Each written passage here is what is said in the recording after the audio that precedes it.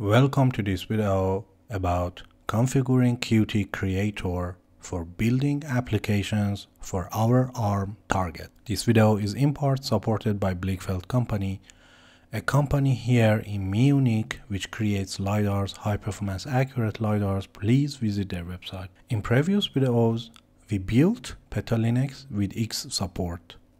We also added Qt libraries to our PetaLinux.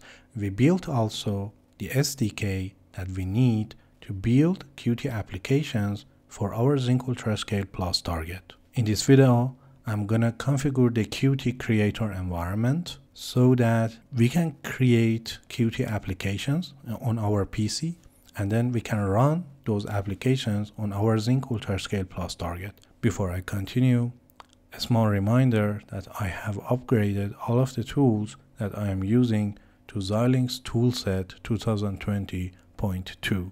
Here is our project folder and we have the PetaLinux ZU104 folder here in which we have built our PetaLinux and inside images inside Linux we have this sdk.sh which is a big file and this is basically our software development kit. In previous videos I showed you how to build the PetaLinux, how to configure it how to partition our SD card, how to build this SDK.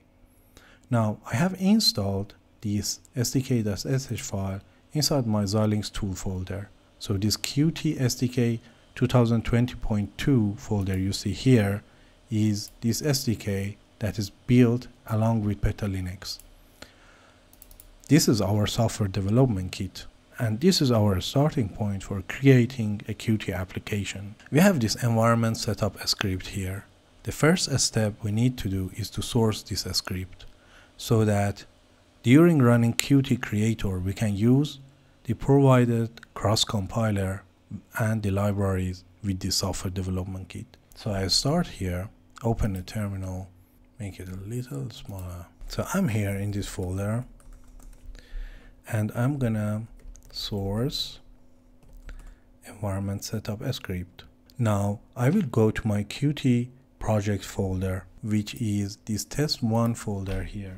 I'm gonna run Qt creator environment. This Qt creator you see here is not configured. The first step I need to do is to define a kit.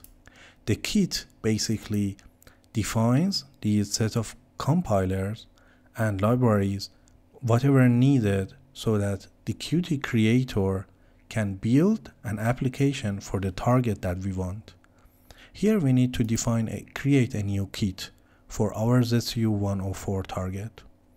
The, the kit which is already available here can be used for building applications for our x86 target, basically the laptop, the PC that we have. What I need here is to create a kit for my ZU104 target. I named the kit ZU104. And then I go through the fields, through the rest of the fields that we have here in this window to configure the kit. Now, the device type that we have and we want to create our applications for is basically a generic Linux device.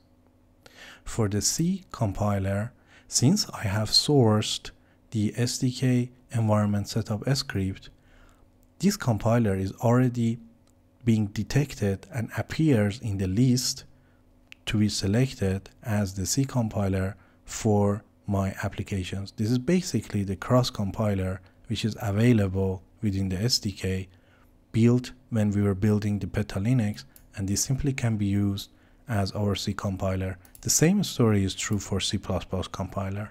Now for debugger, I'm not really interested in debugging the application on board from the Qt environment. So for now, I select none.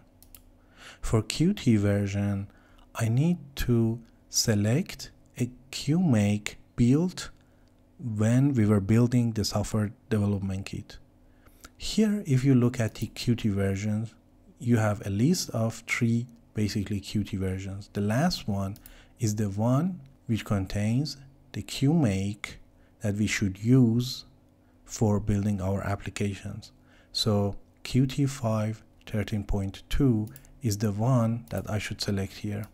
My kit is complete. All of the definitions are done. I can press apply, I can press OK. Now I can start a new project, projects, new. And for now, we want to build a very simple application. So Qt widget application, let's select a name for it. Let's put the path that we had for, for our Qt project. And then qmake is build system. I don't change any of these. Language I don't change. And here I want to build my application basically for the ZCU104 target. So I select this one select next press finish. Qt creator now has created my project before I continue with the form here you see error messages these error messages are not important. You're basically the result of a mismatch between the tool that Qt Creator has for checking the language syntax and the provided library header files inside our SDK. So you can safely ignore them. Now if I come to the UI environment, it's basically an empty window.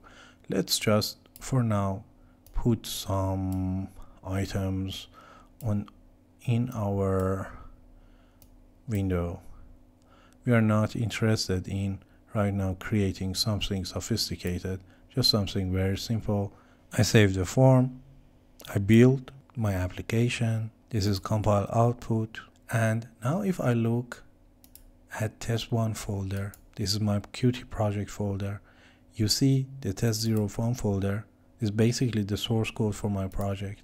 And then you see build test01 ZCU104 debug. And this file, the first file you see here, is basically the executable which is created and can be run on our ZCU104 target. So I put this guy on our SD card and then we try it on the ZCU104 board. So this is our SD card. This is the first partition of the SD card. This is the second partition. I have talked about it before. And now all I need to do is to copy the ELF that's just being created, this test01 ELF that we just created. I copy this guy to, to the SD card. And I have put this in the first partition of the SD card. So I will unmount the SD card. Now I will put the SD card inside the board and we can see if our application runs fine or not. So the SD card is inside the ZCU104 board. I turn on the board and as I have described to you previously, I am capable of capturing the output of my ZCU104 here at my PC side. So I simply come run the VLC and then get connected to my capture card and we can see the output of ZCU104 together. I open my capture device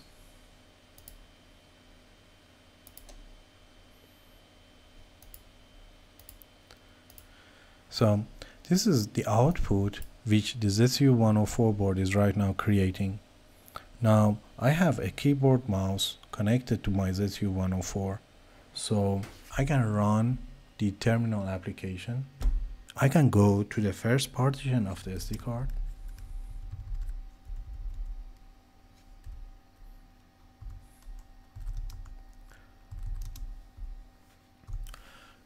Um, test 01 is here. And I can run the test 01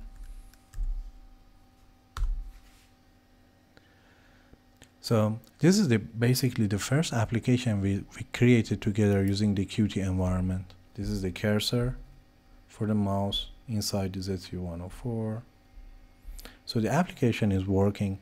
Now this this is a very silly simple application. In future videos we'll create more sophisticated applications.